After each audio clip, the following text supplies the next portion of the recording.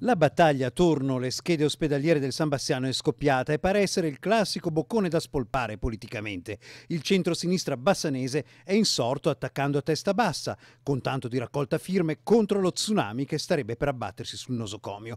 Peccato che al momento la polemica sia perlomeno prematura, in quanto le schede altro non sono che poco più di una bozza. Poi ci saranno le audizioni, poi la discussione in commissione, poi le proposte definitive e infine l'approvazione. Urlare al lupo al lupo in questo caso fa rumore, ma potrebbe essere un bel boomerang, tanto che la candidata del centrodestra sindaco Elena Pavan non perde l'occasione per azzannare.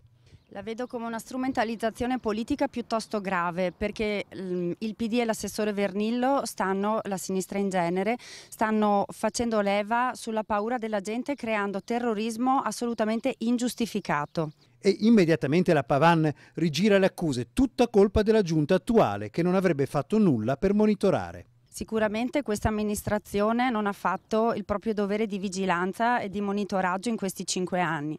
Sappiamo che il sindaco di Sant'Orso e i sindaci di quella zona si sono fatti sentire, diversamente il sindaco Poletto non si sa dove sia stato in questi anni e adesso cerca di scaricare le responsabilità del proprio, della propria inerzia sulla regione.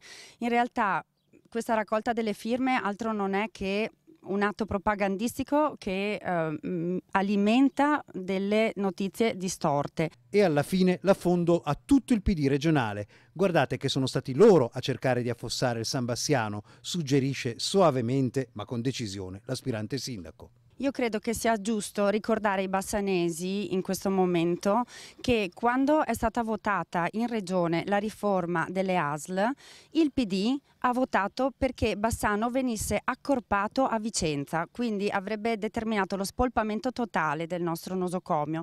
Diversamente la regione ha voluto istituire la ASL 7 della Pedemontana, dando dignità e eh, competenza e qualità agli ospedali di Bassano, Sant'Orso e Asiago.